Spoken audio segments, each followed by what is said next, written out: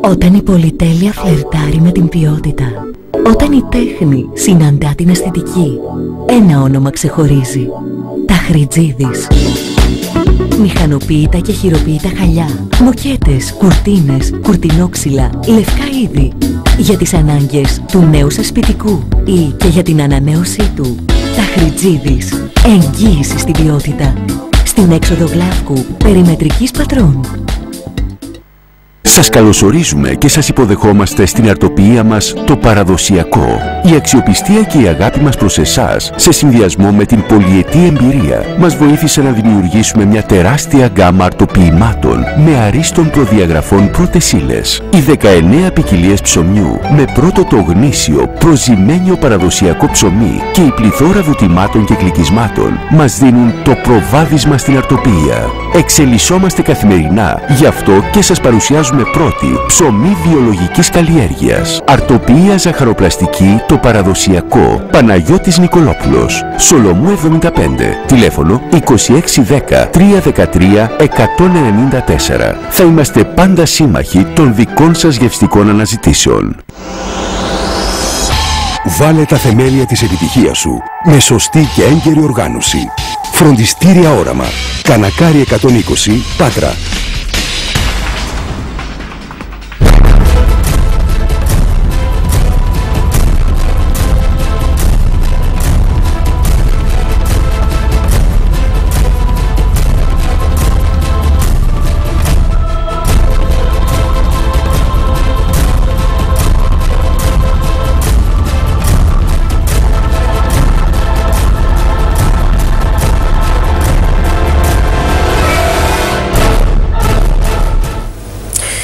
Χαίρετε κυρίες και κύριοι, είναι το μεσημεριανό μαγκαζίνο από την τηλεόραση του Αχάια. Ολοκληρώθηκε και η δεύτερη ψηφοφορία για εκλογή Πρόεδρου της Δημοκρατίας με 168 Σταύρος Δήμας και 131 παρόν, αλλά και μια απουσία λόγω ασθένειας. Η κυβέρνηση κατάφερε να πιάσει το μάξιμουμ των θετικών ψήφων, έτσι όπως είχε διαμορφωθεί το πολιτικό σκηνικό μετά τις τελευταίες εξελίξεις.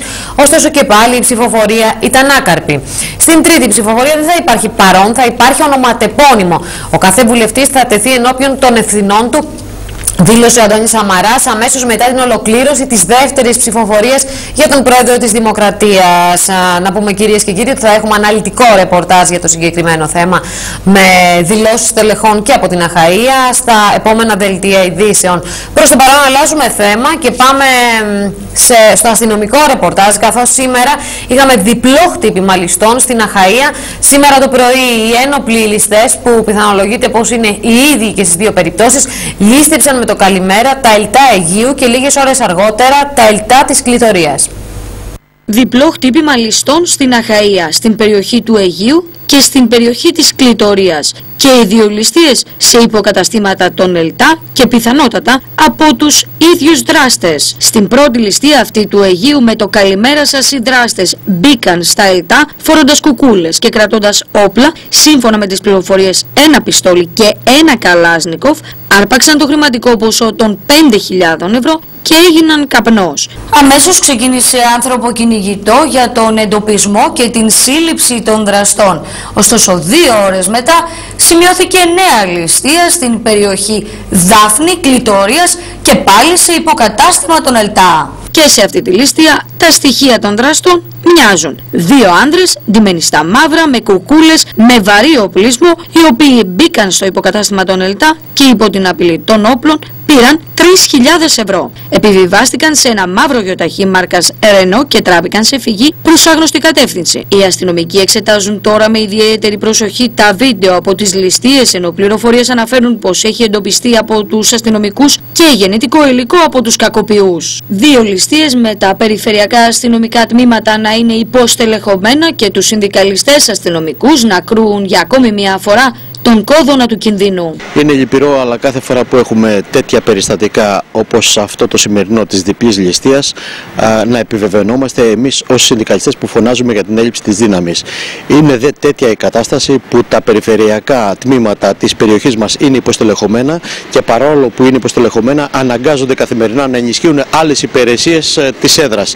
Αυτό νομίζω ότι καταδεικνύει την κατάσταση που έχει στην ΑΔ Αχαΐας. Επιτέλους θα πρέπει η ηγεσία να καταλάβει το σοβαρό πρόβλημα πρόβλημα που υπάρχει, να συνειδητοποιήσουν ότι το έγκλημα βρίσκεται πια στην επαρχία και όχι στην πρωτεύουσα και να στελεχώσει, αν μη τι άλλο, την τρίτη μεγαλύτερη αστυνομική διεύθυνση της χώρας στην Αχαία. Σύμφωνα μάλιστα με τις πληροφορίες, την ώρα της ληστείας στην περιοχή της Κλητορία, σε υπηρεσία βρισκόταν ένας αξιωματικός υπηρεσίας και ένα περιπολικό έξω στην περιοχή με μόνο έναν αστυνομικό. Ισχύουν οι πληροφορίες ότι έχουμε έναν αστυνομικό μέσα σε ένα περιπολικό και αυτή είναι η δύναμη που υπάρχει. Πολλές φορές είναι μια πρακτική να βλέπουμε έναν αστυνομικό να υπάρχει μέσα σε περιπολικό, ε, στα περιφερειακά κυρίως τμήματα. Είναι κάτι που είναι αρκετά επικίνδυνο, το έχουμε πολλές φορές καταδικάσει, το έχουμε αναδείξει, αλλά κάθε φορά βλέπουμε ότι η έλλειψη της δύναμης μας οδηγεί να ακολουθούμε αυτές τις πρακτικές. Πάμε, μένουμε στο θέμα κυρίες και κύριοι. Πάμε στη συνάδελφο Ελένη Παρασκευοπούλη. Ελένη, καλό μεσημέρι. Πραγματικά α, είναι οι ληστείες των Χριστουγέννων, όπως λέμε και στον α, τίτλο. Ε, και το ερώτημα είναι γιατί δεν είχαν ληφθεί τα απαιτούμενα μέτρα. Διότι ε, αυτές τις ημέρες είναι υποψιασμένες οι αρχές ότι μπορεί να συμβούν τέτοιου είδους ενέργειες. Οι πληροφορίες ε, είχαμε ε, το διπλό χτύπημα των ε, ληστών που από ό,τι φαίνεται είναι οι ίδιοι και στις δύο περιπτώσεις βέβαια όλα αυτά μένουν να εξακριβωθούν ε, από τις αστυνομικές ε, αρχές. Μάλιστα. Το ερώτημα που βάζεις βέβαια είναι μεγάλο ε, γιατί η, και η αστυνομική τις μέρες, και η αστυνομία ε, από όσο γνωρίζουμε από τον σχεδιασμό τουλάχιστον και πάντα τις ε, ημέρες γιορτών, τις ημέρες που όπως είπες και εσύ μπαίνουν οι συντάξεις υπάρχει μια κίνηση γενικότερα ε, στην, ε, στις τράπεζες με τα Ναι. χρήματα υπάρχουν και αυξημένα μέτρα, το γνωρίζουμε πάρα πολύ καλά και ένας ιδιαίτερος αν θέλεις σχεδιασμός από την πλευρά της ε, ελληνικής αστυνομίας όχι μόνο τοπικά, ε, σε όλες τις πόλεις της Ελλάδος. Βέβαια Μάρια, ε, στην αστυνομική διεύθυνση Αχαΐας, ε, στην Πάτρα τουλάχιστον, ε, μπορεί να υπάρχει ο σχεδιασμός αυτός όπου υπάρχουν αυξημένα μέτρα, ωστόσο στα περιφερειακά τμήματα ε, δεν υπάρχει αυτός ο σχεδιασμός. Δεν υπάρχει όχι γιατί δεν μπορεί να γίνει, δεν υπάρχει γιατί δεν υπάρχει το προσωπικό όπως καταλαβαίνουμε. Οι πληροφορίες που έχουν φτάσει σε εμάς, ότι στα Καλάβρητα έχουμε ε, έναν αξιωματικό υπηρεσίας ε, και έναν αστυνομικό ο οποίος βγαίνει μόνος του έξω με ένα περιπολικό, καταλαβαίνουμε ότι μ- μόνο αυτό Τέτοια δείχνει την εποχή, υποστελέχωση τέτοια που εποχή, υπάρχει. Ε, που τα καλάβρητα α, γεμίζουν με κόσμο και όχι μόνο τα καλάβρητα και Ο πολλές εύκολος άλλες. στόχος, ε, ξέρουμε πάρα πολύ καλά ότι πλέον ε, οι λίστες ε, γνωρίζουν πολύ καλά τα βήματα της αστυνομίας. Εννοείται. Ε, και δυστυχώς η αστυνομία έχει φτάσει σε πολλές περιπτώσεις να ακολουθεί το έγκλημα. Ε, είδαμε σήμερα ένα διπλό χτύπημα στα όρια της Αχαΐας. Έχουμε δύο ληστείες στην Αχαΐα. Ναι, ναι. Από το Αίγιο στην Κλητορία. Ε, με μπλόκα στους δρόμους. Ναι, ε, ναι. με, γιατί όταν έγινε, έγιναν οι, δύο, η πρώτη ληστεία, σήμανε συναγερμός. Ε, βέβαια. Ε, παντού στήθηκαν μπλόκα. Όλοι οι αστυνομικοί ήταν έξω και προσπαθούσαν να εντοπίσουν, βάσει των χαρακτηριστικών που είχαν δώσει οι αυτόπτες μάρτυρες, να εντοπίσουν τους συγκεκριμένους δράστες οι οποίοι είχαν και βαριοπλισμό. Μάλιστα. Και λίγες ώρες μετά έχουμε νέα ληστεία, πάλι στην Αχαΐα, στην κλητορία. Γιατί, γιατί οι δράστες ήξεραν που πρέπει να πάνε, Μάρια, όσο και να κακοφαίνεται σε κάποιους στο συγκεκριμένο σχόλιο, ξέρουν που πρέπει να χτυπήσουν. Και όσο η αστυνομική διεύθυνση Αχαΐας παραμένει υποστελεχωμένη, όσο υπάρχουν περιφερειακά αστυνομικά τμήματα, όπως τα Καλάβρητα, αναφέρομαι τυχαία, αλλά ξέρουμε ότι σε αυτές τις περιοχές δεν υπάρχει δύναμη που θα έπρεπε να Ναι, ναι. υπάρχει. Όπως τα Καλάβρητα, όπως η Κλητορία, όπως η Χαλανδρίτσα. Όσο αυτά τα τμήματα παραμένουν υποστελεχωμένα, είναι και στόχος οι περιοχές. Νομίζω ότι είναι κατανοητό από όλους αυτό. Το θέμα είναι ότι και από το Υπουργείο κάποια στιγμή ε, δεν θα πρέπει να ακούμε ότι στέλνουν στην Αχαΐα πέντε αστυνομικούς. Μιλάμε και για μία από τις μεγαλύτερες πόλεις. Δεν μπορούμε να ακούμε ότι στέλνουν στην Αχαΐα έξι αστυνομικούς, δύο αστυνομικούς είχαμε ακούσει κάποια στιγμή. Ελένη, Πρέπει να ενισχυθούν τα αστυνομικά τμήματα. Πρέπει να ε, ενισχυθεί ολόκληρη η αστυνομική διεύθυνση Αχαΐας. Και η Πάτρα πρέπει να ενισχυθεί. Ναι. Ε, Δυστυχώς όμως δεν βλέπουμε να συμβαίνει αυτό τα τελευταία χρόνια. Εγώ θα ήθελα να μου Είναι- απαντήσει κάποιος εάν αυτός ο αστυνομικός που έφτασε στη ληστεία, στην κλητορία, μόνος του, Μόνος αν του. πήγε μόνος του και επιβεβαιώνει τα στοιχεία, τι θα έκανε, ή δύο να ήταν, τι θα κάνανε απέναντι σε δύο ληστές με βαρύ οπλισμό. Θέλω να μου πει κάποιος πώς θα αντιμετώπιζε αυτή την κατάσταση. Που ακόμη αυτή Νομίζω ότι είναι ένας- αυτονόητη η απάντηση, Ελένη, σε αυτό το ερώτημα που θέτεις. Πραγματικά ε, το ζήτημα είναι ότι τα τμήματα, τα περιφερειακά τμήματα, αλλά και όχι μόνο τα περιφερειακά τμήματα, γενικότερα α, η αστυνομία είναι υποστελεχωμένη, χρειάζεται ενίσχυση του προσωπικού και δυστυχώς συμβαίνουν τέτοια περιστατικά για να μας το επιβεβαιώνουν. Ε, το θέμα είναι να γίνει κάτι άμεσα. Γιατί το να ακούμε τους συνδικαλιστές αστυνομικούς να φωνάζουν, το να κάνουμε εμείς διαπιστώσεις τις οποίες έχουμε κάνει και κατά το παρελθόν.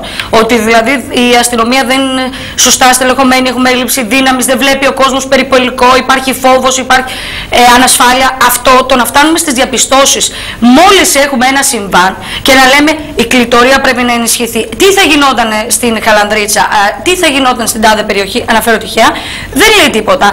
Κάποια στιγμή πρέπει να καταλάβουν και στο Υπουργείο και στο Αρχηγείο της Ελληνικής Αστυνομίας ότι δεν γίνεται να αφήνουμε και την αχαΐα με αυτή την τεράστια έλλειψη προσωπικού. Γνωρίζουμε ότι υπάρχουν πιέσεις. Γνωρίζουμε ότι υπάρχουν πιέσεις και από την τοπική ελληνική αστυνομία. Γνωρίζουμε ότι υπάρχουν πιέσεις και από την Ένωση των Αστυνομικών Υπαλλήλων Αχαία. Όμως πρέπει να υπάρξει μια συνολική κίνηση για να δούμε και ενίσχυση στην να περιοχή δούμε. μας. Για να δούμε, για να δούμε, Ελένη, τι θα συμβεί. Βέβαια, αυτό τώρα ανοίγει ένα πολύ μεγάλο θέμα συζήτησης. Νομίζω ότι δεν το ανοίγω, ότι κάποια στιγμή απλά πρέπει να κλείσει αυτό και το για θέμα. Να, και να αλλάξει και το οργανόγραμμα, είχαμε πει, της ελληνικής αστυνομίας. Ένα ζήτημα το οποίο το έχουν θέσει και οι συνδικαλιστές πάρα πολλές φορές για το που τοποθετούνται οι αστυνομικοί. Είναι ευρύτερο το ζήτημα. Όταν Α, θέλουμε όμως να μιλάμε για ασφάλεια, θα πρέπει αρχικά ο πολίτης να νιώθει ασφαλής. Αν δεν, ε, Δεν νομίζω νιώθει ότι υπάρχει ασφαλής ο κανένας που νιώθει πολίτης, ασφαλής. δεν χρειάζεται να μιλάμε για ασφάλεια. Είναι πολύ απλό. Μάλιστα. Ελένη, θα τα πούμε και στη συνέχεια. Προς το παρόν, αλλάζουμε θέμα, κυρίες και κύριοι. Περισσότερες από 3.000 λάμπες προμηθεύτηκε ο Δήμος της Πάτρας για να αντιμετωπίσει το, έντυν- το έντονο πρόβλημα που υπήρχε με τις σπασμένες λάμπες σε πάρα πολλές περιοχές της Πάτρας που δεν μπορούσαν να αντικατασταθούν. Παρακολουθήστε στο ρεπορτάζ που ακολουθεί τι πρέπει να κάνετε εάν και στην περιοχή σας αντιμετωπίζετε αντίστοιχο πρόβλημα; Ο Δήμος Πατρέων προμηθεύτηκε λάμπες. Αυτό είναι αλήθεια. Δεν, είχα, δεν υπήρχαν λάμπες. Αγοράσαμε. Παίρνουμε και μια συμπληρωματική ποσότητα. Τα ξανααγοράσουμε γρήγορα. Υπάρχουν αυτή τη στιγμή λάμπες και θα υπάρχουν για, για λίγο ακόμα καιρό. Έχουμε αντικαταστήσει περίπου χίλιες λάμπες. Έχουμε μπει σε αυτή τη διαδικασία και όποιος ε, στη γειτονιά του ή οπουδήποτε έχει καεί λάμπα ή οτιδήποτε άλλο θέλει να απευθύνεται στο 15190 ή στην υπηρεσία ηλεκτροφωτισμού για να την ε, αντικαταστήσουμε. Περισσότερους από 3.000 λαμπτήρες για να αντιμετωπιστεί το πρόβλημα που παρουσιάστηκε το τελευταίο χρονικό διάστημα με τους πολίτες που καλούσαν στο Δήμο και ζητούσαν να αλλάξουν οι λάμπες στην περιοχή τους είτε γιατί είχαν καεί είτε γιατί είχαν σπάσει και ο Δήμος της Πάτρας δεν μπορούσε να ανταποκριθεί. Μάλιστα οι υπηρεσίες του Δήμου είχαν φτάσει στο σημείο σύμφωνα με τις πληροφορίες να ζητούν από τους πολίτες να αγοράσουν μόνοι τους λάμπες και στη συνέχεια να απευθυνθούν στα συνεργεία του Δήμου για την τοποθέτησή τους. Η προμήθεια ήταν 3-3.500 λάμπες, αν το λέω Ε, σωστά. ναι, αυτό είναι, είναι διαφόρων κατηγοριών. Έχουμε 15 διαφορετικά είδη ε, λαμπτήρων και έχουμε πάρει από όλες και προχωράμε. Και από ό,τι φαίνεται και από ό,τι καταλαβαίνω για να μιλάτε και για δεύτερη προμήθεια. Ε, έχουμε Κάναμε μια μεγάλο συμπληρωματική πρόβλημα. προμήθεια. Θα φροντίσουμε να μην αντιμετωπίσουμε στο μέλλον τέτοιο πρόβλημα και θα επιταχύνουμε τη διαδικασία των ε, προμηθειών. Γιατί οι λάμπες δεν έχουμε εδώ και 1,5 χρόνο περίπου. Επίθεση από τον επικεφαλής της παράταξης Νέα Πόλη στην πρώην α, Δημοτική Αρχή αλλά και στη Νέα. Α, από την πλευρά, ο κύριος Χριστόπουλος ανέφερε πως η Δημοτική Αρχή Πελετίδη δεν έχει πρόγραμμα και δεν μπορεί να λύσει τα προβλήματα της καθημερινότητας της πόλης. Στο μεταξύ ανακοίνωσε σκιώδη Δημοτική Αρχή. Και επειδή λοιπόν υπάρχουν κατ' επάγγελμα συκοφάντες, εμείς θα απαντήσουμε με τη δική μας οργάνωση. Σοβαρές καταγγελίες από τον επικεφαλής της Δημοτικής Παράταξης Νέα Πόλη, Κώστα Χριστόπουλο. Σε όλη την ε, θητεία τη Μαρά, ότι όχι μόνο με δική μας ευθύνη και με ευθύνη άλλων, υπήρχε πολλές φορές μία στρέβλωση των θέσεών μας. Και αυτό γινόταν γιατί είχε το, το ελάττωμα ο κύριος Δημαράς και η Δημοτική Αρχή προηγούμενη να βγαίνει και να λέει: Ξέρετε, αυτοί υποστηρίζουν αυτό. Και το έλεγαν και προς τους υπαλλήλου του Δήμου και ήταν ψέματα. Διαστρέβλαν τις θέσεις μας και λέγανε: Ναι, ξέρετε, εμείς θέλουμε να σας βοηθήσουμε, αλλά η παράταξη Χριστόπουλου δεν θέλει να σας βοηθήσει. Το ίδιο έγινε και με την ε, παράταξη που είναι σήμερα Δημοτική Αρχή. Παραμονές εκλογών πήγαιναν στους δημοτικούς υπαλλήλους και έλεγαν: Θα σας απολύσουν αυτοί ή θα φέρουν ιδιώτε να κάνουν τη δουλειά του Δήμου. Ο κ. Χριστόπουλος ανέφερε πως η Δημοτική Αρχή της Πάτρας δεν έχει πρόγραμμα και αυτό φαίνεται πλέον ξεκάθαρα αφού δεν δίνονται λύσεις σε σοβαρά ζητήματα που υπάρχουν. Αν θυμάστε στις ε, συζητήσεις μεταξύ των υποψηφίων, προσπαθούσε να ομοδοποιήσει όλους τους άλλους, αν και ομοδοποιήθηκαν τελικά προς την άλλη πλευρά, προσπαθούσε να τους ομοδοποιήσει όλους λέγοντας ότι εσείς οι 11 έχετε πρόγραμμα και τι κάνατε που έχετε πρόγραμμα, δεν πρόκειται να κάνετε τίποτα. Εγώ δεν έχω πρόγραμμα. Αυτό λοιπόν φαίνεται. Κάνοντας αναφορά στο θέμα του παραρτήματος του χιτά της ξερόλακας, στην καθαριότητα, το κυκλοφοριακό, στον κοινωνικό τομέα, στην μη εγχώρηση αρμοδιοτήτων στις τοπικές κοινότητες, την αύξηση των ανταποδοτικών τελών. Είδαμε μόνο μία απόπειρα προγράμματος για τα σκουπίδια, όπου πολλοί υποστηρικτές της Δημοτικής Αρχής στο δεύτερο γύρο βιάστηκαν να το στηρίξουν, χωρίς όμως το πρόγραμμα αυτό να έχει την λεπτομέρεια και την ουσία που χρειάζεται να έχει για να γίνει υλοποιήσιμο. Υπάρχει μια αδράνεια στο θέμα του παραρτήματος. Η λογική ότι εμείς δεν μπορούμε να δώσουμε εντολή στην αστυνομία να παρέμβει την ώρα που έπρεπε να παρέμβει ε, είναι αδυναμία ανάληψη ευθυνών. Το παράρτημα είναι ιδιοκτησία του Δήμου. Έπρεπε να είχε γίνει η πρόταση για το πώς έπρεπε να λειτουργήσει. Εμείς την είχαμε καταθέσει και προεκλογικά. Στον κοινωνικό τομέα είδαμε μια παράλογη ανάμειξη εξωθεσμικών παραγόντων στην ε, δουλειά της Τράπεζας Τροφίμων ε, η οποία μπορεί να είχε κάποια επίφαση προσφοράς αλλά στην ουσία ήταν ε, από προσανατολισμός της λειτουργίας της Τράπεζας Τροφίμων και συνολικά του κοινωνικού τομέα του Δήμου και λειτουργία τους σε άλλες κατευθύνσεις που αυτό θεωρούν ότι συνέφερε τη συγκεκριμένη Δημοτική Αρχή. Ο κ. Χριστόπουλος ανέθεσε την εποπτεία των αντιδημάρχων σε δημοτικούς συμβούλους της παράταξής του. Ο κ. Ηλίας Γκοτσόπουλος θα παρακολουθεί τον κύριο Ανδρέα Θανασόπουλο, ο κ. Δημήτρης Νικολάου, τον κύριο, ο κ. Ανδρέας Νικολάου, τον κ. Δημήτρη Πελεκούδα, εδώ πάει το Δημήτρης, ο κ. Χρήστος ε, Μπακαλάρος, τον κύριο Παύλο Στάμο, ο Θόδωρος Οξυλιάς τον κύριο Πλέσα, ο Γιώργος Καυκάς τον Χρήστο τον Κορδά και ο Νίκος Θοδωρόπουλος τον κύριο Μελά. Είναι ένα εργαλείο, όπως είπα και προηγουμένως, το οποίο θα παρακολουθεί, θα ενημερώνει, θα ενημερώνεται και θα ενημερώνει, θα, θα δημιουργεί προτάσεις και θα α, ανακοινώνουμε προτάσεις, αλλά κυρίως είναι το μεγάλο εργαλείο που θα φέρει το βάρος της οργάνωσης και της επαφής με τους δημότες. Ικανοποιητική κίνηση στα εμπορικά καταστήματα της Πάτρας. Οι πολίτες προχωρούν σε αγορές χωρίς ωστόσο να κάνουν πολλά περιτά έξοδα. Περιορίζονται μόνο σε δώρα. Ζεστάθηκαν λίγο τα ταμεία των εμπόρων της Πάτρας. Χριστούγεννα, περίοδος εορτών, περίοδος δώρων. Με την κίνηση στα εμπορικά καταστήματα να είναι σε ικανοποιητικά επίπεδα όπως αναφέρουν οι έμποροι. Η κίνηση είναι αρκετά ικανοποιητική ε, παρόλο στις ε, αντικσοότητες ενώ με τις πολιτικές εξελίξεις οι οποίες δημιουργούν ένα αρνητικό κλίμα στη, στον καταναλωτή ε, θεωρώ ότι είναι σε ικανοποιητικά επίπεδα. Σε σχέση με πέρυσι; Σε σχέση με πέρυσι θεωρώ ότι είναι στα ίδια επίπεδα. Για την ώρα.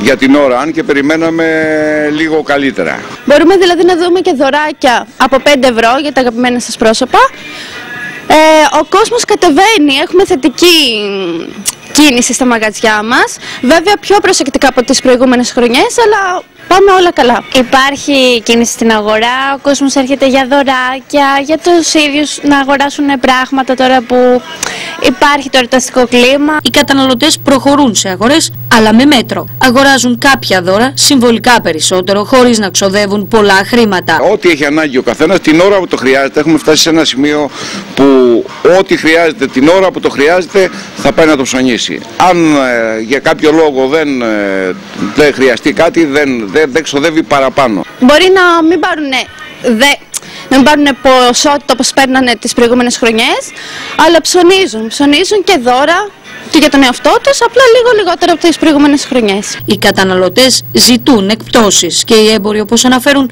προσπαθούν να κάνουν τις καλύτερες τιμές έτσι ώστε οι πολίτες να μπορέσουν να προχωρήσουν σε αγορές και φυσικά τα ταμεία των εμπόρων να κλείσουν στο τέλος του έτους με θετικό πρόσημο. Προφανώς είναι δύσκολες οι εποχές μας, ωστόσο ψωνίζει διότι οι προσφορές που βάζουμε βοηθάνε, τα μηνύματα είναι αισιόδοξα, λόγω εορτών κάποιοι έχουν πάρει και το δώρο τους οπότε κοιτάνε να βολέψουν τις οικογένειές τους παίρνοντάς τους δώρα, οικονομικά δώρα.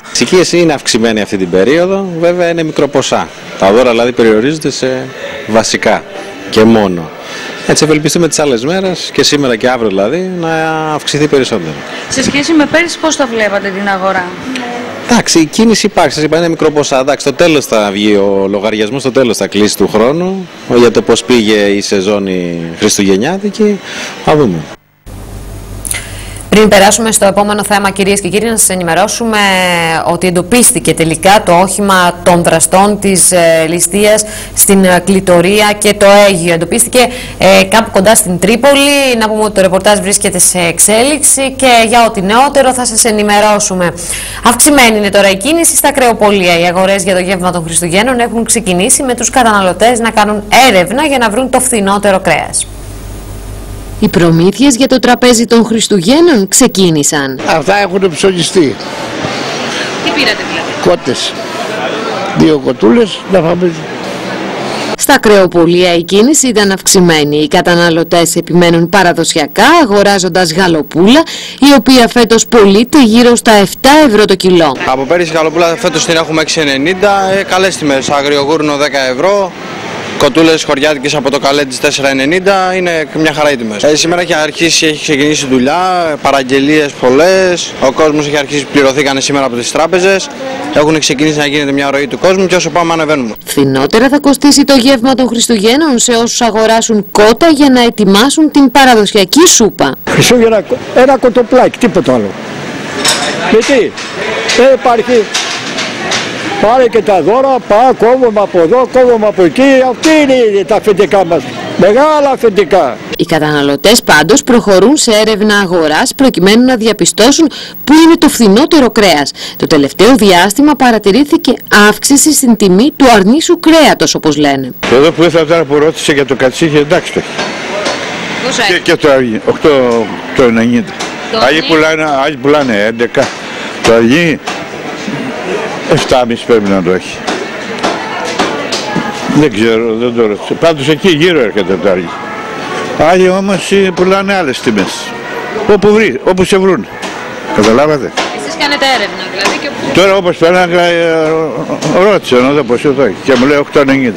Ο ένας άλλος το έχει ε, 10,80. Πολύ καλές τιμές, είναι τόπια τα αριά, θα ψωνίσουμε. Ε, φέτος κάποιοι μας λένε ότι αύξησαν την τιμή του αρνιού. Τίποτα, τίποτα. ε, ε, Πουλάμε φθηνότερα για τα πέρσι. Δεν υπάρχει τίποτα χειρότερο. Το κρέας είναι σε καλές τιμές για να τις φάει ο λόγος ο κόσμος. Η γιορτή των Χριστουγέννων είναι, ψωνίζει ο κόσμος όλα τα είδη. Δηλαδή, από γαλοπούλα, χοιρινό, μουσκάρι, αρνί, κατσίκι, ψωνίζει σχεδόν όλα τα κρέατα, από λίγο. Στα κρεοπολία έχουν γίνει και αρκετές παραγγελίες και οι καταναλωτές θα παραλάβουν τα κρέατά τους στην παραμονή των Χριστουγέννων.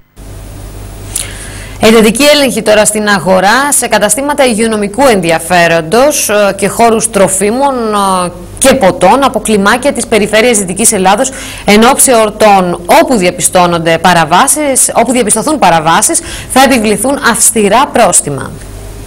Εντατικοποίηση των ελέγχων που διενεργούνται στην αγορά εν ώψη εορτών των Χριστουγέννων αλλά και της Πρωτοχρονιάς ζήτησε ο Αντιπεριφερειάρχης Αχαΐας βάσει και της πρόσφατης εγκυκλίου του Υπουργείου Υγείας στα σημεία παραγωγής, τυποποίησης και εμπορίας τροφίμων και ποτών που αυτή την περίοδο λόγω και των εορτών των Χριστουγέννων παρουσιάζουν αυξημένη ζήτηση αναμένεται να εντατικοποιηθούν οι έλεγχοι. Στόχος είναι η διασφάλιση της δημόσιας υγείας αλλά και η προστασία του καταναλωτή από φαινόμενα έσχροκέρδειας και παραπλάνησης. Αυτό αναφέρεται σε έλεγχο στα τρόφιμα, σε έλεγχο στα ποτά, ε, σε έλεγχο στα καταστήματα υγειονομικού ενδιαφέροντος έτσι ώστε να μπορέσουμε να πιστοποιήσουμε ότι ασφαλώς ο καταναλωτής θα μπορεί αυτές τις ημέρες ε, να έχει καλά προϊόντα. Οι έλεγχοι θα πραγματοποιούνται καθημερινά και καθ' όλη την εορταστική περίοδο. Παράλληλα, τονίζεται πως όπου διαπιστωθούν παραβάσεις από τις οποίες είναι δυνατόν να προκληθεί κίνδυνος για τη δημόσια υγεία ή παραπλάνηση του καταναλωτή,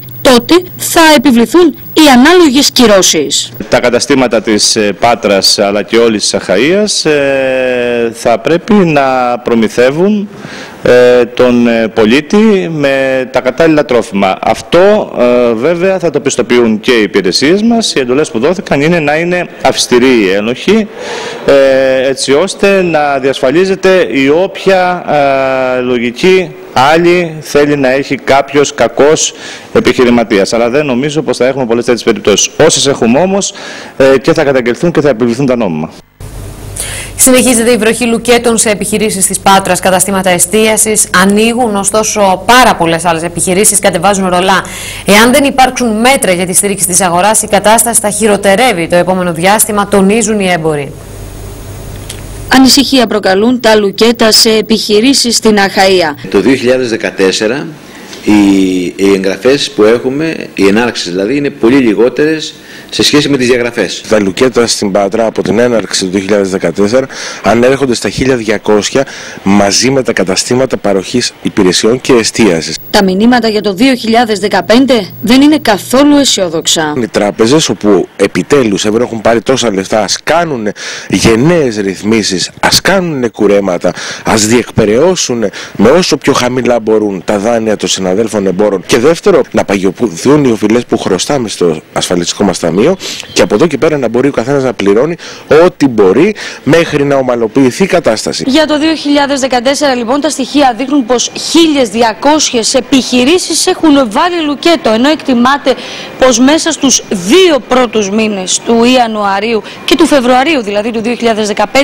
οι επιχειρήσεις που θα έχουν βάλει λουκέτο θα ξεπεράσουν τις 1.500. Υπάρχουν ωστόσο και εγγραφές νέων επιχειρήσεων, οι οποίες είναι κυρίως στον κλάδο της εστίασης. Το παρήγορο είναι ότι έχουμε σημαντικές εγγραφές μέσα σε αυτή την κρίση και κυρίως είναι από νέες επιχειρήσεις οι οποίες είτε συμμετέχουν σε διάφορα προγράμματα όπως αυτά που υλοποιήσαμε το προηγούμενο χρονικό διάστημα με τη διαχειριστική ευρωπαϊκών προγραμμάτων για την ενίσχυση των μικρομεσαίων επιχειρήσεων, για την κοινωνική επιχειρηματικότητα και την νεανική, τα οποία θα βγουν πάλι τώρα, είναι τα λεγόμενα εμποστοβαρή, το επόμενο χρονικό διάστημα και αυτά ίσως να βοηθήσουν λίγο αν όχι να ισορροπήσει, τουλάχιστον το πρόσημο να μην είναι πολύ αρνητικό. Παράλληλα από την αρχή του 2014 χάθηκε το 25% του τζίρου των καταστημάτων όπως τονίζεται, ενώ καταγράφονται καθημερινά απώλειες. Τα έξοδα, ξαναλέω, είναι υπερβολικά. Ένα μικρό μαγαζί που δραστηριοποιείται σε μια περιοχή της πόλης, όχι στο κέντρο, ξεπερνάει τα 1000 ευρώ ημερήσια, ε, η μηνιαία έξοδα. Εργαζόμαστε σαν επιμελητήριο προς πολλά επίπεδα.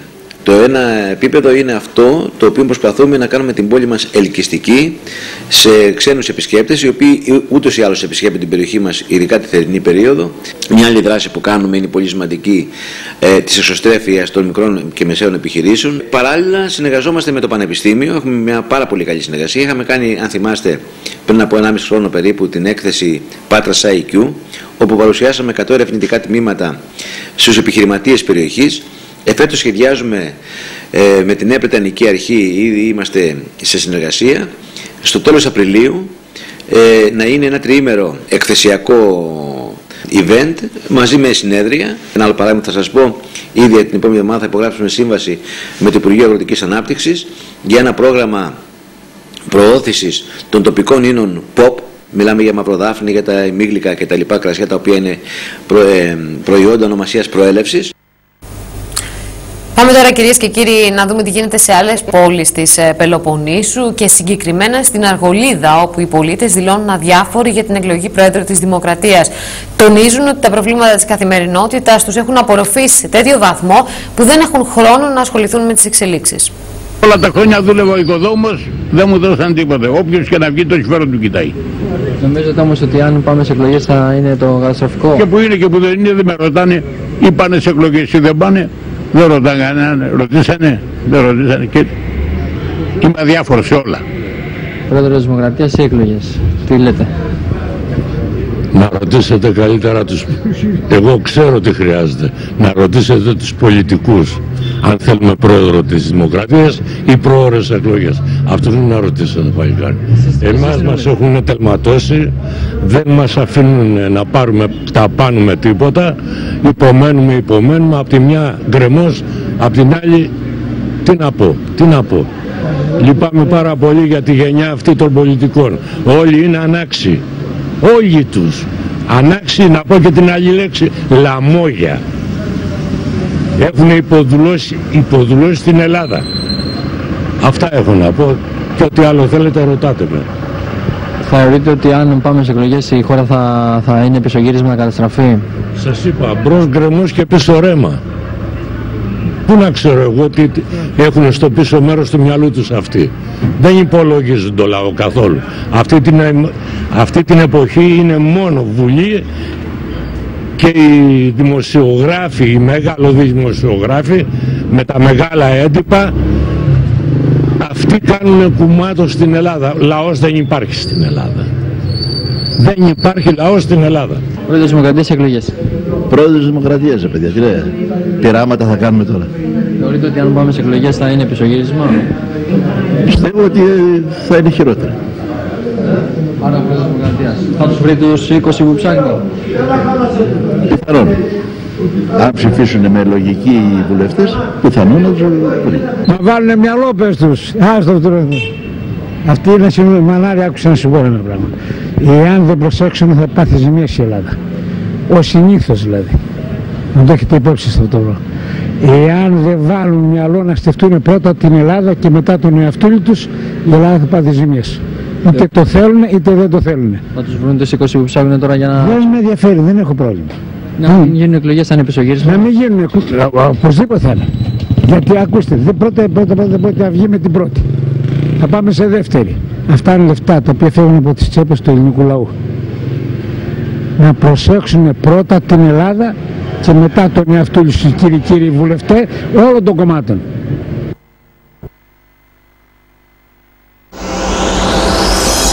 Βάλε τα θεμέλια της επιτυχίας σου με σωστή και έγκαιρη οργάνωση. Φροντιστήρια όραμα. Κανακάρι 120 Πάτρα. Το όνομά σου Νίκος ο Μαγκάκος Και τα ρούχα σου Νίκ Τα μοδάτα Γιαχώ Παιδική μόδα Νίκ. Εδώ και 30 χρόνια δίνει με τον καλύτερο και πιο ποιοτικό τρόπο όλα τα παιδιά. Νίκ. Απλώνεται παντού και ανταποκρίνεται στην προτίμηση και εμπιστοσύνη σας. Παιδική μόδα Νίκ. Η δική μου ομάδα στα παιδικά είναι ντύσιμο Πρώτο κατάστημα Αγιάς 96. Δεύτερο κατάστημα Ερμού 79. Και τώρα νέο κατάστημα Ανθίας 154.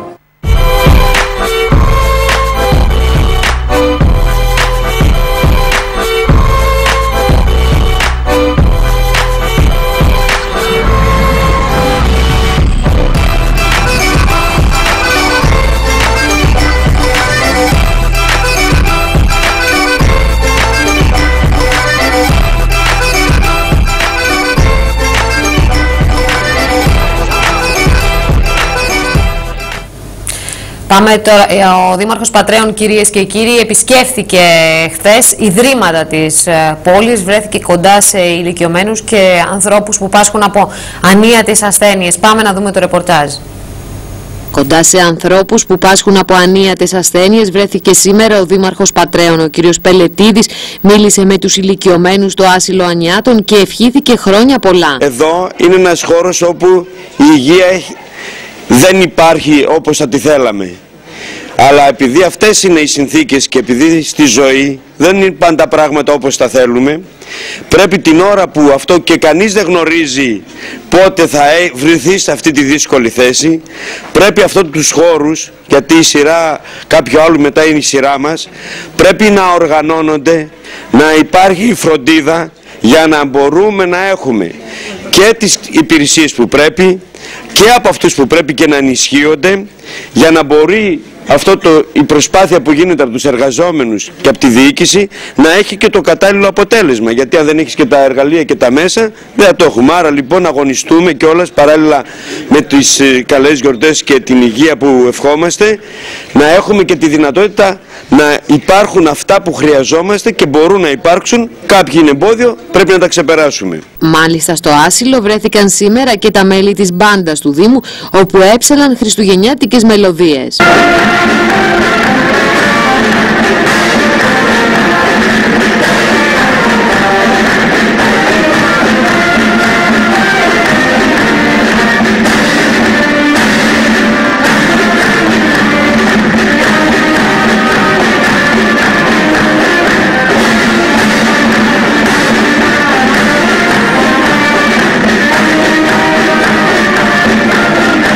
Στη συνέχεια ο Δήμαρχος επισκέφθηκε την Κιβωτό της Αγάπης, το Κωνσταντοπούλιο Ευγυρίο και άλλα ιδρύματα.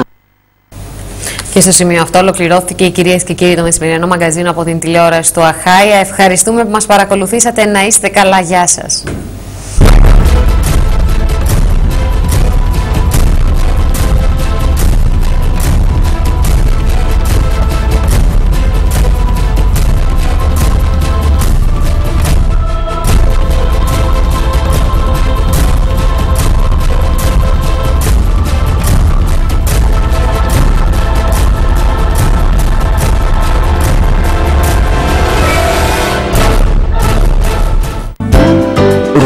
Sleeve.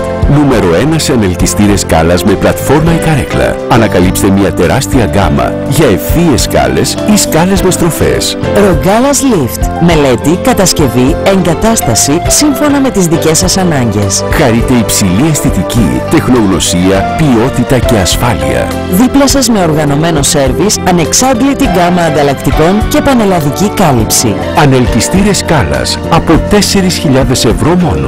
Έχουμε τη λύση και για οικιακούς ανελκυστήρες προσώπων.